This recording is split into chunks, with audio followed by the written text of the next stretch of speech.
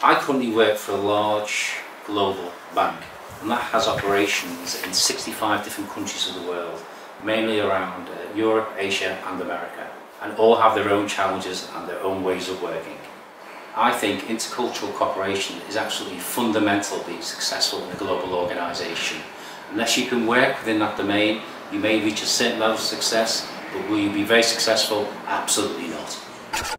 It means that being able to understand that people from other cultures have different practices from your own and you are sensitive to it and that will give you the ability to adapt your communication style when engaging with people of different cultures. That will go a long way in building trust and relationship with your business partners and colleagues. In today's global world, understanding cultural differences is not just important, it's an absolute must to be truly effective in international business.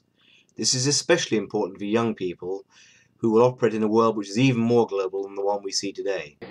Uh, I would say it is extremely important because the world we are living in is getting smaller and smaller with the improvement of modern science and, and technology.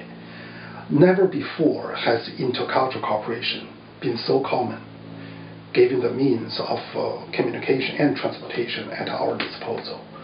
This requires us to attach greater importance to cultural education and cultural intelligence.